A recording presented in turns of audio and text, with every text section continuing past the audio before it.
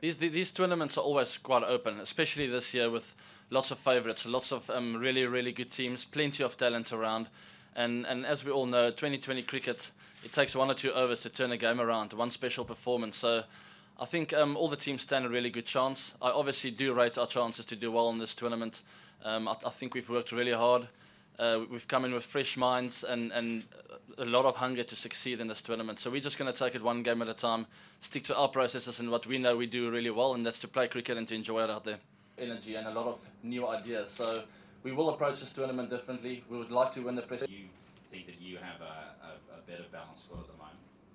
Um, it's something that maybe hasn't been there in the past. Um, we've, we've, we've performed consistently well now and, and probably taken a lot of momentum into this tournament, but still we we respect the fact that there are a lot of teams here that can win the tournament, and, and we humble in, in the way we, we prepare and in our own processes, and hopefully we do come out on top in, the, in this tournament.